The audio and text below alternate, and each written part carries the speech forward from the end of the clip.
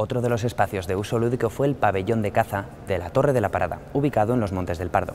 En este caso era el lugar de descanso para las largas jornadas de cacería del monarca Felipe IV.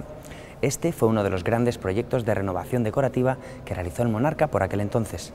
Ten en cuenta que estas obras tratan la temática de la caza, que era considerada la más noble de las actividades.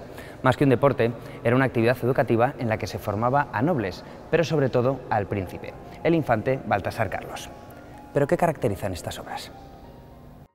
Alguna de las maestrías que el pintor demuestra en estas obras son, por ejemplo, la aplicación de una gama de color muy limitada con la que consigue toda la expresión de la composición.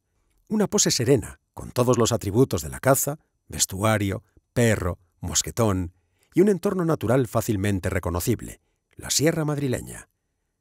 La decoración la completaban los cuadros de los filósofos Esopo y Menipo. Ambos filósofos están ataviados con humildes vestimentas que dejan entrever la modesta vida que llevaban.